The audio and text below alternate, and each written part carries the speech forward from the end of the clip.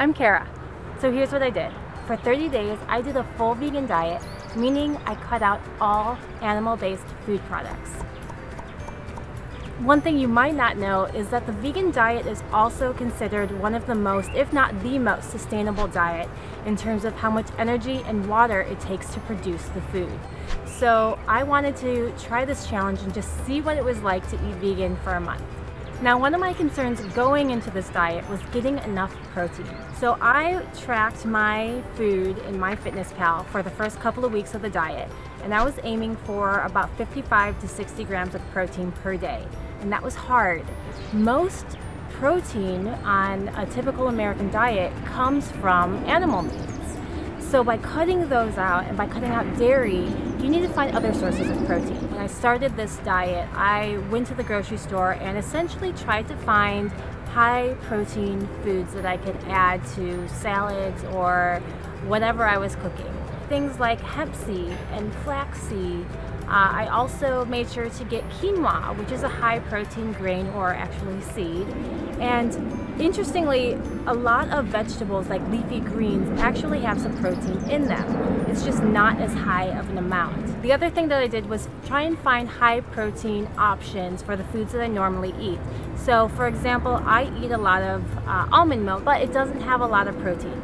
So instead I opted for soy milk, which has more protein in it. And then the last thing that I did was I actually bought a plant-based protein powder, which was so important and so valuable for getting in that extra protein that I needed. The other thing I was concerned about was convenience.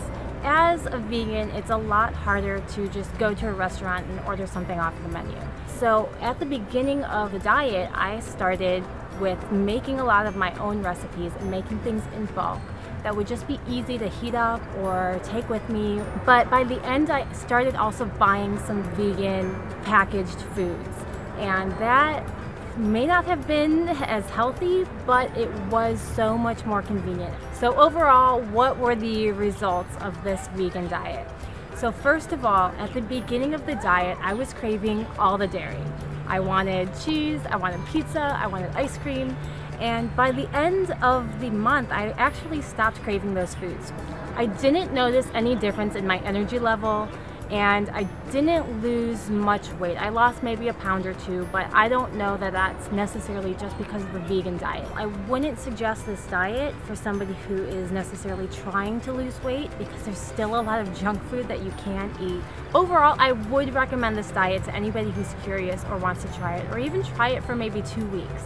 It's just kind of a cool opportunity to try something new and try some new recipes that you might not try otherwise.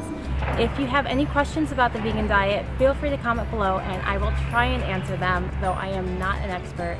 But yeah, thanks and I'll see you next time.